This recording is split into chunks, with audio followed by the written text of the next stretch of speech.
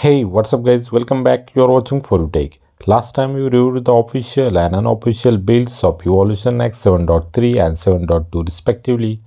Finally, the new build of unofficial Evolution X 7.4 has been released few days back. As the official retrofits Evolution X builds are using the super partitions, it's not supporting the normal TWRP flashing process which is very annoying and once you flash the official Evolution X you can't switch other ROMs easily. You have to restore the Oxygen 10 using the MSM tool and needs to use the flashing of ROMs from the scratch as we did first time flashing of Android 12 custom ROMs. So I will review only the unofficial builds onwards. So today in this video we will see what's new in the about phone, performance comparison of old Evolution X was new Evolution X, new features added in the new build. At last I shown some bugs and my final verdict. So watch the video till the end. Flashing is same like we did for the older builds. Download the ROM zip file. Remove the pins or the password lock on your phone. Boot phone in a TWRP. In the TWRP tap install and flash the ROM zip file. Now tap advanced, tap install current TWRP. Once done, tap wipe. Then tap format data, type yes. Here I can't able to format data even if I enable the RMRF setting in the TWRP. So skip that step and tap reboot to the system. So phone started to boot into the boot animation of Evolution X. Now without further ado, let's get started.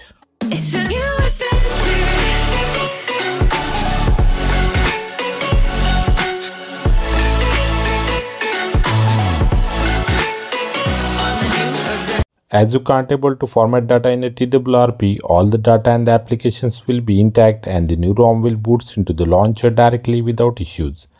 Now let's jump to the about phone to check the details of the new update. So this is the same Android 13 base build with the old material clock easter egg. This is the unofficial Evolution X build 7.4 called Kaldereta version. Security patches of December 2022. Finally we got the first December security patch rebuild by Evolution X. Kernel version is 4.9.227.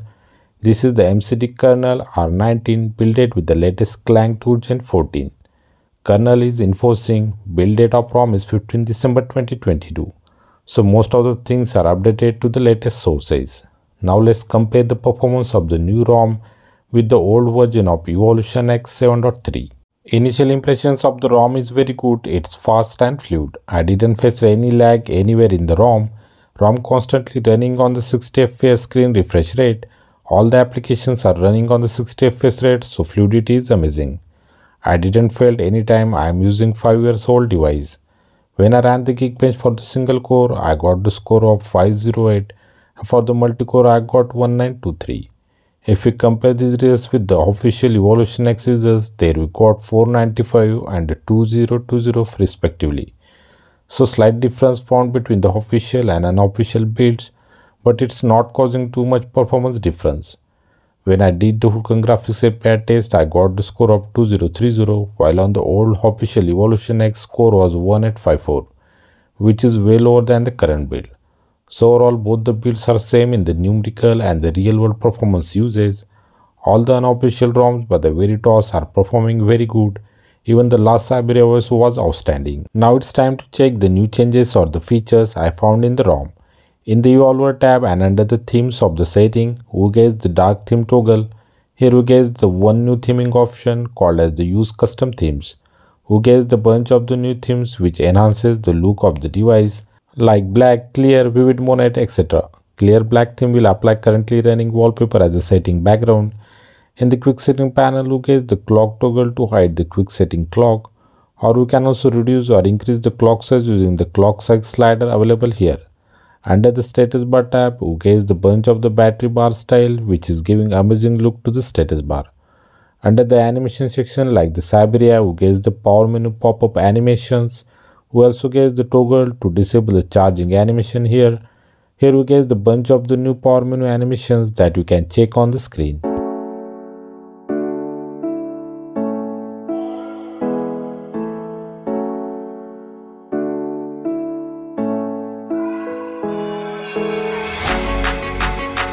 Except this all the old customizations are available in the Evolver tab.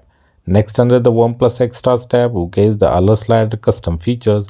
Here you can customize the top, middle and the bottom position of color slider for the different actions. It's working very well as you can check. I'm using it for the activation of flashlight. In the Syberia ROM this setting is buggy. ROM is now comes with the Dolby Atmos like the Syberia ROM but the Dolby Atmos version is different here. By default for the speaker smart audio profile was activated if you connect the Bluetooth device or the wired earphones, other profiles will get activated like the music, movie, custom, etc. We can also tune them as per our wish also. There is a surround sound virtualizer toggle also available here. Except this we get the panel modes. Here we get the different color profiles. I especially prefer the AMOLED white color gamut. We also get the kernel level KCAL setting to tune the colors of the display panel. DC dimming toggle is also available here. Instead of this get the, all the old settings like the speaker and the microphone volume gain sliders, automatic high brightness option and the vibration control. Here one thing I noticed is that the haptic feedback vibration is lot more improved in the, all the custom ROM on the latest sources. ROM comes with the fully working OnePlus camera application, all the things like the night mode, portrait mode for the, both the front and the back camera, 4K 60 fps video recording, slow motion and the time lapse for the video recording, pro mode all the things are working. So no need of the Gcam because now OnePlus camera is fully working and it is giving the better images quality than the Gcam. ROM comes with the fully working OnePlus Gallery application also. In the quick setting panel like the old data and the Wi-Fi expanded tiles, now we get the expanded Bluetooth tile also. Here we get the details of all the Bluetooth devices connected with the one tab. So these are all the pros and the features of the new ROM. Now let's check out some minor bugs. Hey Google or the OK Google tab is missing here so I can't able to use the voice activation of Google Assistant. In the Syberia ROM it was available and first time work for my device in the custom ROMs. Widevine is on L3 so we can't able to stream the Netflix and the Amazon Prime at the full HD resolution. Except these minor issues I didn't found any bugs in this amazing ROM. Now only one point is left to test the battery life because of busy schedule I was not able to switch this device as my primary device. But now I will use this device as my primary device for the 2 days and will give you the full battery results. Until then if you think this video helped you then please do like, share and subscribe. Press the bell icon for the notifications of upcoming content. Thanks for watching. See you next time. Take care. Bye bye.